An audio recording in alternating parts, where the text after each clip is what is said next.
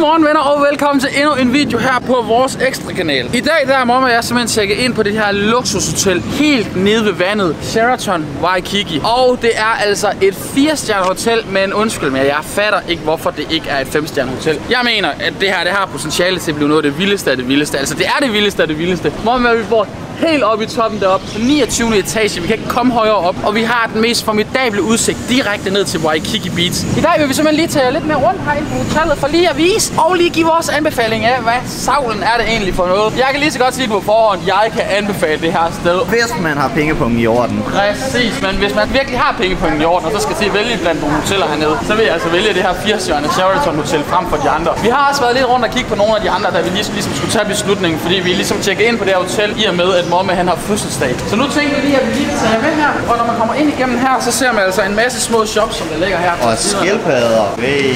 Det er havskildpadder, det der, de kan blive 80 år gamle. Et lille fun fact. Hver dag her på hotellet, der er ukuleleundervisning kl. 4. Så kan man lige få 30 minutters ukuleleundervisning, og det var der en, der havde meldt mig til i går. Jeg har i hvert fald ikke tilmeldt mig selv. Til gengæld så har jeg et lille fun fact. Jeg synes selv, det er meget sjovt. Hawaii, det består af 19 større øer.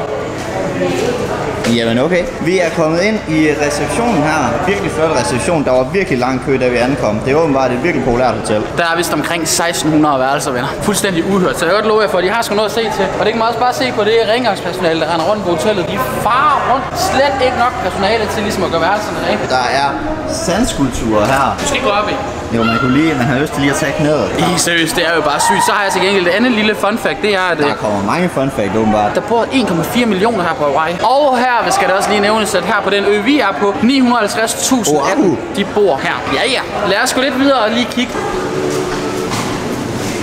Nu er vi simpelthen ved at komme ud til en af de pools, som hotellet her tilbyder. Og det er en fuldstændig formidabel pool. Sådan en infinity pool direkte ned til vandet. Thanks.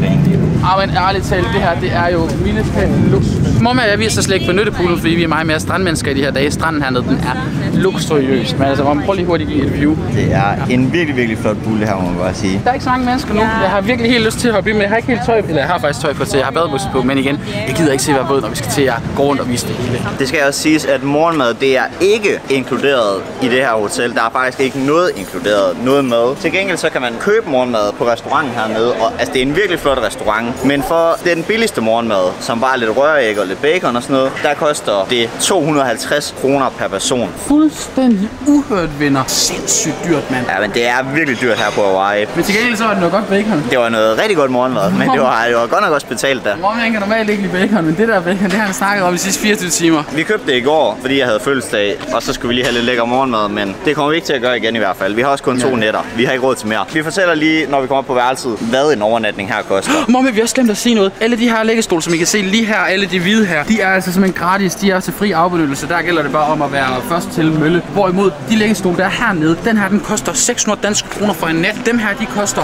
1200 danske kroner per dag for ligesom at bruge dem. Også dem, som I kan se derude i vandet, som der ligger lige derovre, de koster 600 kroner per enkelt liggestol. Og så de cabanas, der er derovre bagved, de koster 2000 danske kroner for at bruge den i løbet af en hel dag. Man tror jo, når man ligesom har købt en overnatning, at man så får liggestol gratis. Ikke på Hawaii. fuldstændig uhørt, venner. Det er jo uhørt, det priser, så man skal altså lige, lige tillægge lidt ekstra monetos, hvis man, skal, hvis man i hvert fald skal ligge ved en liggestol hernede. Det er derfor, vi altid bare går på stranden og så tager et håndklæde med. Noget nemmere, noget billigere, noget rarere. Jeg er stadig i chok. 2.000 kroner for at lege sådan en der, det er fuldstændig uhørt. Følgerne, de er vilde i dag. Hold da op, der er gang i vandet. Åh, oh, hvor er der meget gang i det. Nej, nej, nej, nej, nej, nu kommer der en til. Nej, nej, nej.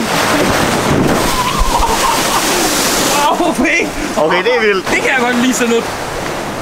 Og det er ikke dem, hvor vi kom til at lukke elevatoren i går. Det var faktisk lidt en dum situation, fordi i går aftes, så mig og Paluk, vi står inde i en elevator, kan se, at der kommer gående to piger på vores egen alder, og lige kigger ind i Hvad det, den begynder snakker at lukke. om? De var 35 plus. Du er Ja, bare gerne i kontakt med den. I hvert fald, elevatoren når lige at lukke, og mig og Paluk, vi står.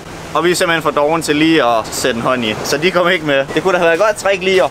Åh, selvfølgelig kan I komme med her, men det, det magtede I ikke. Så vi kørte op selv. 29. Hi buddy. How are you? Aloha. You Nice, thank you, you too. Og her har de heller ikke nøglekort, de har de her wristbands, og jeg elsker det, fordi så skal man ikke tænke på nøglekort. Bum. Og inden vi går ind, er det nu, vi afslører prisen? Ja, lad os afsløre prisen, venner. Vi giver næsten 3.000 kroner per overnatning for at bo her. Vi har altså booket to overnatninger. Det er bare for sådan en værelse her. Det er fuldstændig grotesk. Ja, det er fuldstændig uhørt, fuldstændig skampris. Altså seriøst, de skambyder de priser. Det er fuldstændig sindssygt. Her har vi så også øh, en flot kalender, som om han har fået i fødselsdagsgave af Mathias Landen Vips, også kaldet Broomback. Ham fik vi fløjet hertil i går. Tak til ham for at give mig en gave. Oh. Der er også en nede... Ej, det kan vi ikke vise her. Nej, det, det, er fra drø, det, det er fra Drøjer, ja. Han havde lige også fundet lidt lækkert. Og den ukulele, jeg spillede på i går til min ukulele-lesson. Ja, seriøst. Ja, altså, så, ja, så sidder han bare sådan her. Det kan alle jo.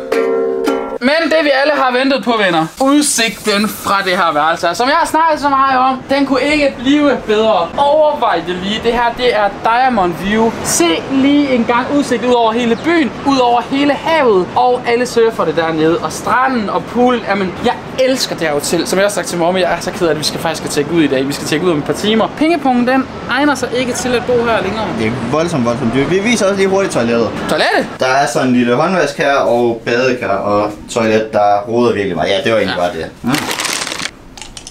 Mm. Men jeg tænker også lige, venner, at vi skal tage og vise den anden pool dernede, så lad os hellere bare komme derned. Vi er kommet til anden pool her på hotellet. Det er sådan lidt mere børnepool, kan man godt sige. Den er så også exceptionelt fed, venner, fordi der er en vandrutsjebane over bagved. Det er et luksushotel, det her, det må jeg nok engang sige. Og en lidt dum situation, det var i går, der skulle jeg ligesom i poolen for første gang her, og jeg var fuldstændig sandet til. Fuldstændig sandet til, så jeg går ligesom op og spørger, hvor er der en bruse, jeg kan skylle mig under? Der står og kigger på mig. Ah, you don't have to do that. Han siger bare til mig, at hvis jeg nu skynder mig bare at hoppe ned i poolen, så kan jeg bare skylle sandet af dernede. Det gjorde jeg også, sgu. Der var ikke andet for, og herover der er vandrutsjebanen. Altså slet ikke prøvet endnu. Og mine venner, nu er vi kommet ned til stranden, som I måske også har set i nogle af de andre videoer. Overvej lige den her strand. Vi går altså direkte ned til stranden her fra vores hotel, som ligger der. En privat indgang, kan man vist godt sige, vel at mærke. Og vandet, det er, altså, det er bare formidabelt her. Så kommer han jo. Hello. Var det en, du kendte? Ja, ja, jeg kender efterhånden rigtig mange her. Jeg får sgu snakket med lidt af værk, hvis jeg skal sige. En lille bonus er simpelthen, at hvis man lige hurtigt går 100 meter længere hen ad stranden, venner, vores hotel det ligger altså lige derhen, så kommer der altså det her lyserøde hotel ved siden af, og de har en rigtig, rigtig lækker pool, også som ligger direkte ned til vandet. Nu går vi simpelthen væk fra sandet og ind på fliserne her. Og så 10 meter herinde, der kommer der allerede en pool. Der er altså en pool fuldstændig nede ved sandet. Og det her, det var altså bare lige en lille bonusfakt, som øh, I fik I vide derude, venner. Hvis der nogensinde er nogen af jer, som der skal til Hawaii her, så kan I lige smutte ind lige at bruge deres pool, hvis I altså trænger til et lille døb, og ikke gider være i havvand mere. Der er sat nemlig også så meget salt i. Nu skal vi ud herfra igen, inden vi bliver smidt ud. Ja, det er også rigtigt, fordi de står lige derovre. Prøv at se, de står nemlig hen til venstre. Det er hen til venstre, der er det der, hvor de står og kigger. Altså helt seriøst, man kan bare gå herinde. Nej, der står også en og graver. Hej, buddy. Hvad graver han til? Han går ned til kineserne. Men egentlig vil vi også bare tiltakke af for den her video med den helt igennem formidable udsigt i baggrunden. Så har jeg i hvert fald en inspiration til, hvor man kan bo, hvis man øh, virkelig bare vil smide en masse penge her på Hawaii. Ikke noget, vi har lyst til. Som sagt, det var egentlig kun lige for to nætter, fordi jeg havde fødselsdag. Så tænkte vi, okay, så kan vi godt lige. Men øh, det, nu skal vi over på et meget billigere hotel. Meget, meget billigere hotel. Et hostel eller et motel, som jeg også godt kan kalde det. Men igen, tusind tak, venner. Glem ikke at like og subscribe, hvis I endnu ikke har gjort det. Og så er der igen for end bare at sige, vi ses sgu i vores næste video. I må have det for nøjeligt, venner. Hej hej.